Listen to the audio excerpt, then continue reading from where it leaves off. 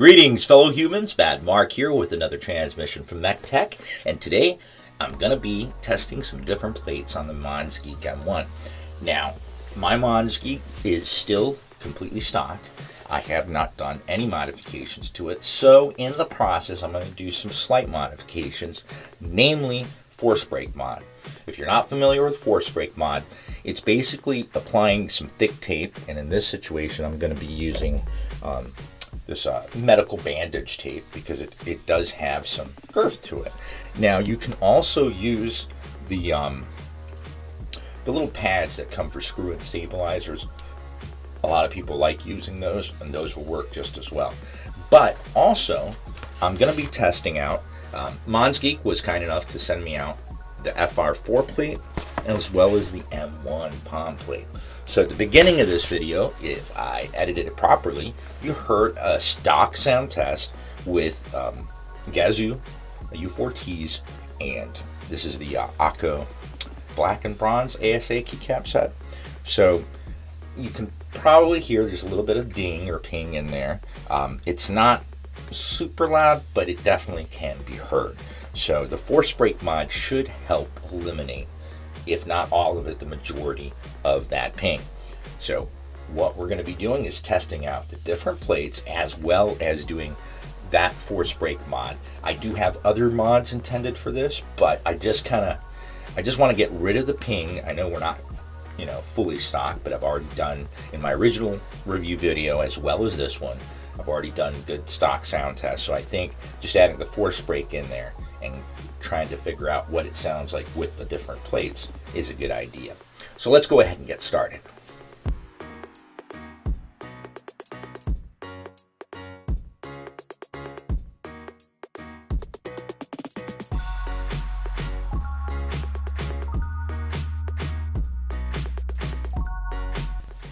All right, I just wanted to show the last three I'm pulling out. Now, when we're dealing with the Temu sockets, it's a whole different story. But when we're dealing with the majority of hot swap sockets that we find, find nowadays on many keyboards, um, there really doesn't have to be a struggle to pull them out. I see too many times people breaking uh, this part, the window, um, or just that little opening right there. Honestly, just making sure that you have both the bottom and the top clip engaged, and then doing a little rock back and forth, not too much of a rock, you're not trying to break the pins off in there, but it just makes sure that it's released from the plate because the plate's really what's holding it down. The clips here at the top and the bottom of the switch, that's what's holding that into place, and they're very light clips. That's why you may have noticed that some of the keycaps actually pulled it off. Now, granted, we are dealing with a polycarbonate plate, so they're going to have a lot looser of tolerances and allow for the switch, but to, to come off easier. But the main part of removing a hot swap switch is to ensure that you have both of those clips and then you don't need to pull that hard. You can just gently pull it out and gentle is best when dealing with these hot swap sockets. Remember, they're only on there with two little pieces of solder on either end. So just something to think about. All right, so here we are um, with the uh, the geek and all right. First, let me go ahead and remove the knob. Yeah, I don't think I've even have I opened this? No, wait a minute. I don't even remember this came. I had to install the stabilizer. Ah, I don't even remember. Ah, too many keyboards, too little time. So let's see what size hex we need in here. That's it right there. Go ahead and open this baby up. Always when you're using little power screwdrivers like this, make sure that you have the best fitting bit on, um, especially when dealing with um, Phillips head screws. Uh, they're a lot of times these these screws are are soft, and if you have one that it, when it jumps, you feel that that's actually it skipping over where it lands into, and enough of those skips can strip the head of the screw. So just a little little tip from your Uncle Mark. These not anodized? Uh, let me see.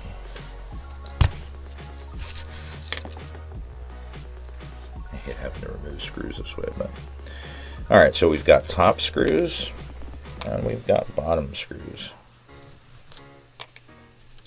three of each. Now let's see. All right, we lift the top up.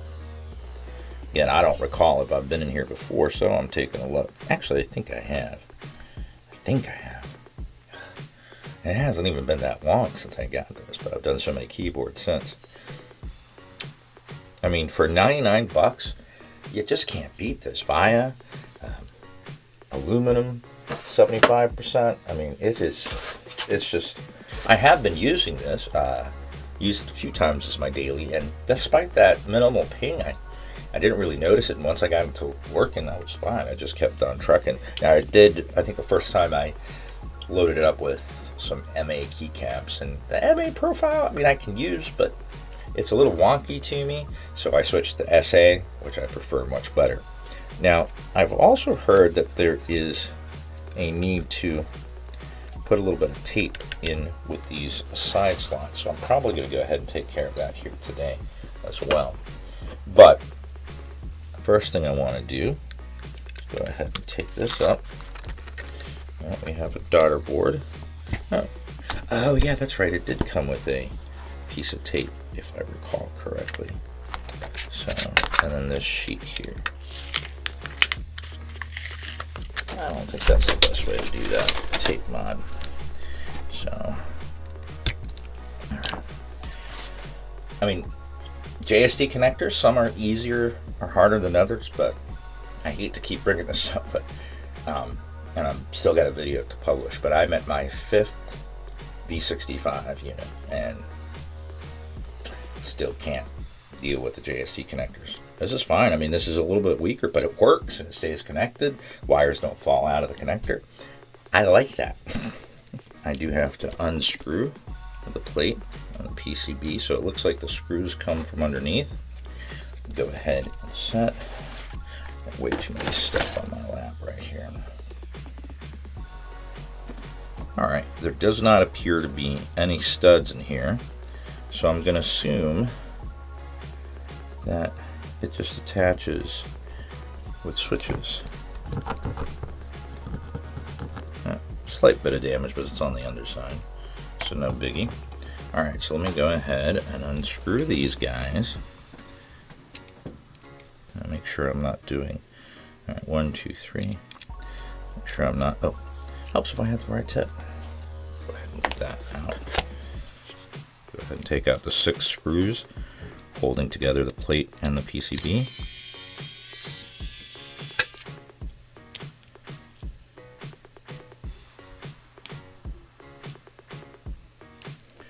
Alright, and there we have the PCB as well as the foam. So, I also have the uh, IXPE foam on this, so set this aside. I do do know I have some extra gaskets, but I'd have to go dig the box out. So I'm just going to go ahead and borrow these gaskets off of here. So yeah, this is the PC plate. This one actually has studs. This is the stock plate that comes with it. And here we are with the M uh, F4, FR4. All right, it fits just nicely over the, um, the switches. And we got the pad in there. So let's go ahead and make sure. I guess we can go ahead and just put them all in here. Make sure I'm gonna go ahead and get the corners. So some plates use studs and screws to keep them connected, but even in that situation, you could still use um, the actual switches as anchors because once there's enough switches in there,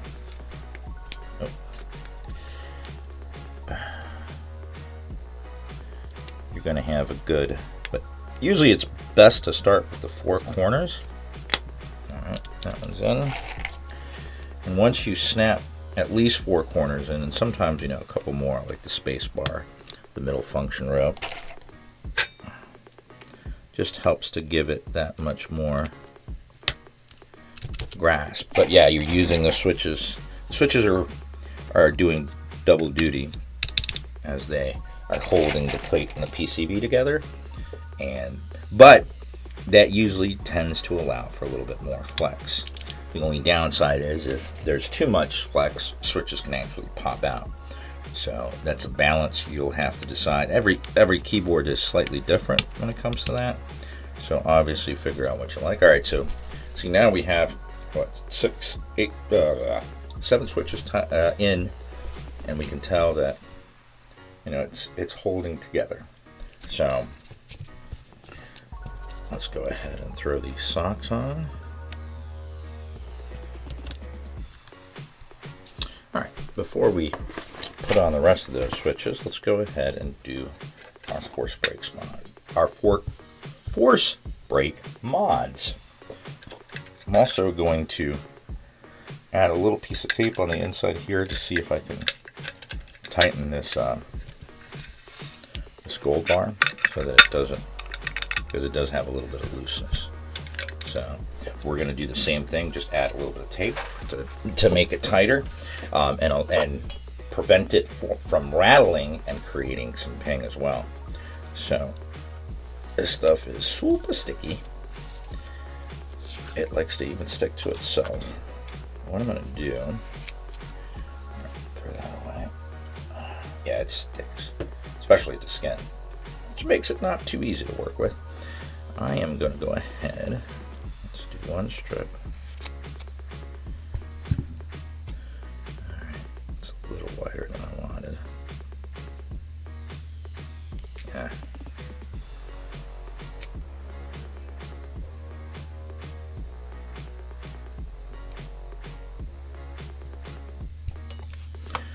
So what I'm basically doing is taking little square pieces and as you see they don't have to be perfect they're going to be hidden inside of the case but I'm placing them on either side of each screw point on the bottom and the top case. What this is going to do, it's going to help basically create almost like a dampening gasket so where the metal isn't hitting directly against metal it has something in between to soften that metallic below. This one's going to have to be a little skinnier for that corner but I can actually just go ahead and move you over here so I have to try to cut you and ruin you. Alright, let's cut another strip. Although this tape is hard to work with, it, in my opinion, it, it does the best in a lot of situations, especially with force break. Um, but even a couple of layers of painter's tape will work if you don't have this handy. So as long as you're creating some sort of cushion between two pieces of metal, you should be okay. I'm to try to prevent it from going outside of the border of the plate or of the case so that it's not sticking out. Put that a little too far up. Let's try that again.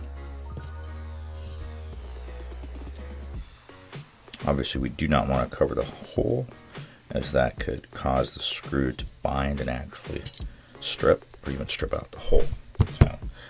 Don't want to impede the screw at all.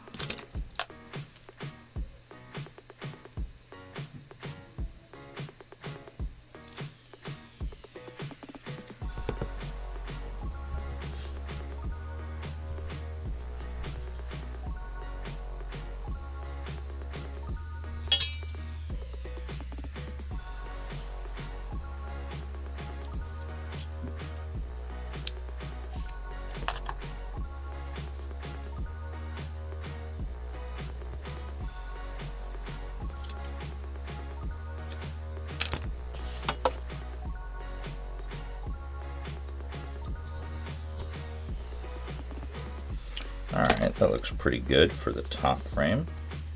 Now let's go ahead and take care of the bottom frame as well as these bars. So for these bars, obviously we want to keep the tape on the inside. Let's see if we can just do... Basically, I'm just finding the best way to put tape on here to where not only will it serve as a wedge, but it also won't come off. One of the things I do notice is that it needs to be put in evenly. Oh, I think we got it. Ah, we got the tiniest little edge showing. Of course, press it into that wedge and press it down. All right, trying to get, like I said, the best fit to where it's going to go in and not pull the tape out, but also find a nice, comfortable wedge in there. All right, so we try to do it evenly, one top and the bottom at the same time, then push down. I think we've got it. All right, yeah. So none of that's going to stick outside of the case. Awesome. And yep. So we can hear that one doing it. So let's go ahead take care of that one. Same way we did this one. I'm doing this so that it's as close to the bar as possible. Hopefully it won't pull up Let me squeeze it in. All right, this seems to be well on there. Let's see if we can get on the first shot. Uh, get it evenly. Guess uh, try to slide both the top and the bottom in at the same time. That seems to do the trick. Yeah, that's on there. And nothing is peeking out. It's fine if it's peek, peeks out from the top because that's going to be on the inside. So it would be nice, I mean, maybe for the next revision, if there was LEDs here and you could replace this with like say acrylic inserts for doing, um, so that it, it would uh, diffuse the light. I think that would be pretty cool. Because um, I honestly, I, I think this board stock sounds better than the GMMK Pro. And I don't think there'd be many that, that would disagree with me on that. But obviously, uh, we need to do some some improvements, which is what we're doing here. All right, so now let's go ahead and finish up the force break mod. The thing is here, you're trying to balance putting, you know, a good amount of gasket tape and not, you know, creating any issues with the case not wanting to shut. So you don't want to go off and put in like a millimeter thick piece of poron, poron and you put it on either side of the screw hole because that's where it gets screwed down. So that's where most of the um, the reverberation is going to be caused if there's nothing there to stop that reverberation that is. Um, like I said, I'm going to come later and do more mods than just this um, this this plastic. I mean, this plastic sheet actually, you'd be surprised, but I think polyfill actually will work better. And in the end, who knows, I may do a silicone pour. Um, have I done an aluminum silicone pour? I want to say I have, but I can't think of. I really got to start keeping track of these.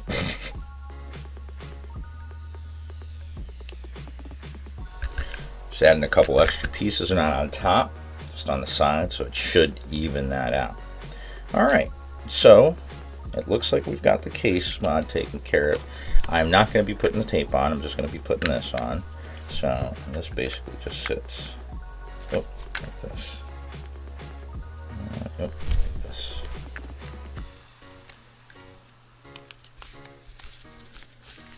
Yep. So now, since we have the plate out, I'm going to go ahead and just load up all the switches so I can support the back of the hot swap PCB and then we'll get to rebuilding it and seeing how that sounds.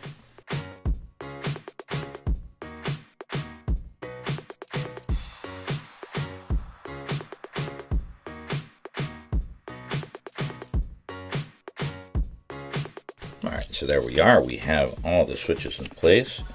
Um, go ahead and get this connected. Boom. And that's how I like JST connectors to work. Alright, I want to make sure that it's in there.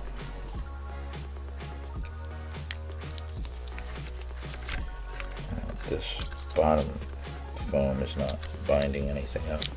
So you want to make sure that these gaskets are sitting into their holes or their slots, whatever you'd like to call them. All right. Now let's make sure that this fits on nicely. All right, yeah, so we're good. Let's go ahead and set this upside down. We have the long ones for the back.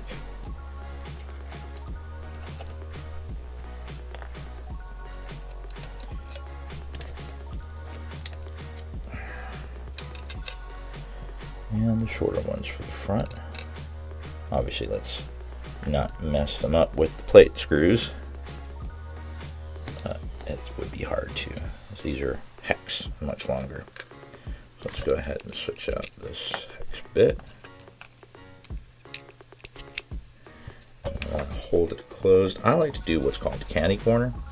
I don't tighten it all the way, but I start with one in one corner, and I go to the complete opposite corner. I know it's down there, another opposite, opposite, then center and center. All right.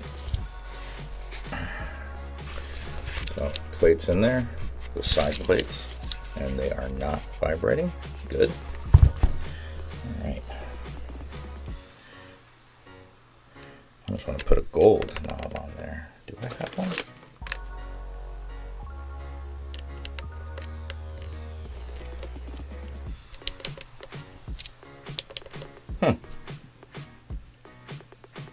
I kind of like it.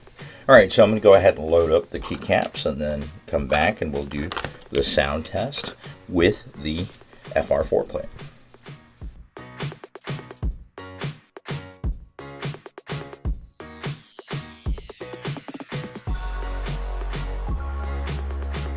All right, here we are. Now I did change out the knob, but that shouldn't make a difference for the sound test. Although now that I've done the force break mod, I think I'm gonna have to come back at the end and put the PC plate back on and see how that sounds. But that metal ping has definitely gone away. So let me go ahead and leave you guys with the stock sound test of this one. And I will be back in another video where I will go ahead and change out to the POM plate and then I'll make another video where I put the PC plate back in. I'll do a sound test with that. Then I'll come back on that video and do all the mods and then decide on which plate I'm going to stick with at that point though. Very likely to be either the PC or the POM though. I, I really do like the PC but let's see how the POM performs. So I'm going to go ahead and leave you guys with a stock sound test of this Monsgeek M1. It's using Gazzew U4T switches. Um, and it's using the Akko ASA Black and Bronze keycap set, uh, which is a double shot. And we have done the force break mod and also tightened up the plates on the side so they won't rattle and won't ping. And we have also replaced it out and we're doing this with the FR4 plate.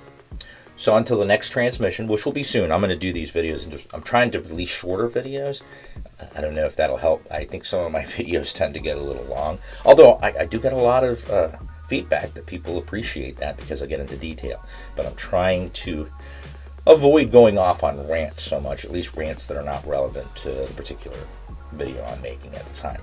But I appreciate all feedback that you guys got going for me. It, it's helping me to make my channel better one step at a time. And if you guys did enjoy this, I hate to do this, but a click of a like or subscribe helps my channel out a bit. Uh, a big bunch, you know, in exchange for that little effort. So if you think I've earned your subscription, I'd love it if you click like and subscribe below.